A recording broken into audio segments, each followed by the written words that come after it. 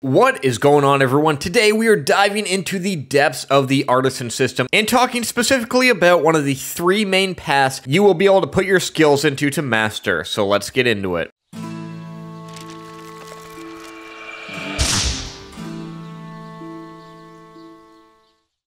Within the artisan system, there are three paths a player can progress down. Gathering, processing, and crafting. And within each of these paths are various professions that you can create in. But your path must be chosen carefully as only one of these paths can be mastered per character, but this doesn't mean that a master crafter can't gather, just that they will only go so far in it. The first path which we're talking about in today's video is gathering. When you set out to gather your herbs or your ore, you will need to have the right tools for the job, meaning a fishing pole for fishing or an axe for chopping trees down and so on and so forth. And once you set out, keep in mind that gathering does give XP to the nodes within the zone of influence that you are in. So if you're pushing for a certain node to level up, you might want to stick close to it for a while. As you'd expect, gathering means that you are setting out to find the resources that players would use to create certain things. Basically meaning from the beginning, you will help control the market, as everyone who is seeking to refine and craft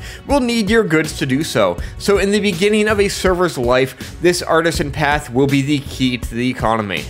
Like I said earlier, within each of the three paths, there are professions that you can participate in. For gathering, some of those professions are farming, which happens in your freehold. It is a time-based system, meaning you plant seeds, and over a certain amount of time, your crops will grow and can be harvested.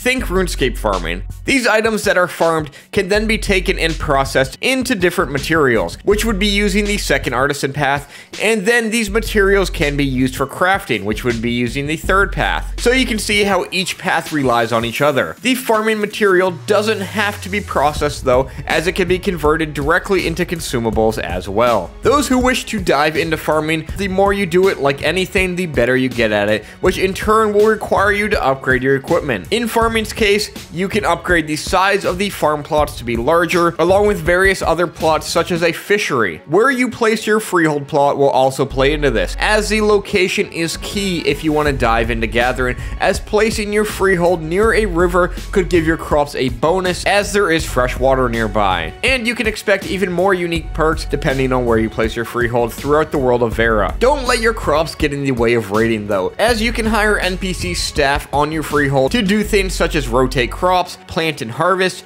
and sell your crops as well. That way you don't have to give up your adventuring life to maintain your farm. Some of the crops that you will be growing would be mushrooms, potatoes, wheat, along with having the ability to acquire livestock such as cows and chickens, which will give you milk and eggs. Fishing is another profession in the gathering tree, having you set out to gather fish, obviously. Fishing is obviously the best profession any game can ever give you because I don't really have a reason why, but I love fishing in every game. But in Ash They may be doing it a little bit better. There is multiple types of fishing. Small game fishing, which requires little thought and is more of you just sitting there casting a rod and collecting fish like most games give you. Then there's deep sea fishing, which I'd assume you would need a ship to partake in. This system will rely on various mini games needed to be accomplished and may involve some more expensive equipment to get it done. There is also coastal and lake fishing, which is less interactive than deep sea fishing, but more so than small scale fishing, giving you a balance in between the two. There will also be fishing tournaments within Verra that you can put your pole to work to bring in the largest catch. The fish you gather can then be used for things such as furniture, clothing,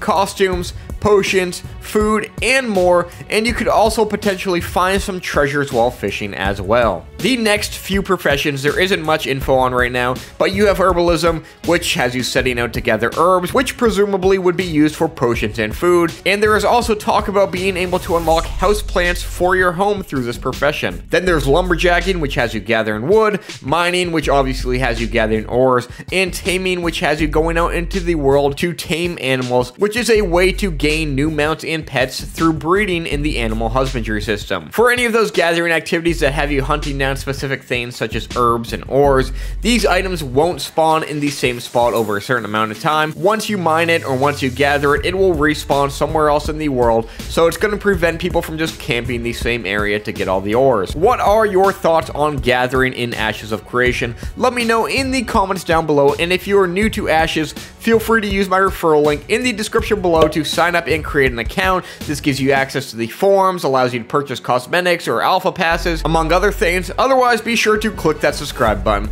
hit that thumbs up, turn on the bell for notifications, and stay tuned for a lot more to come.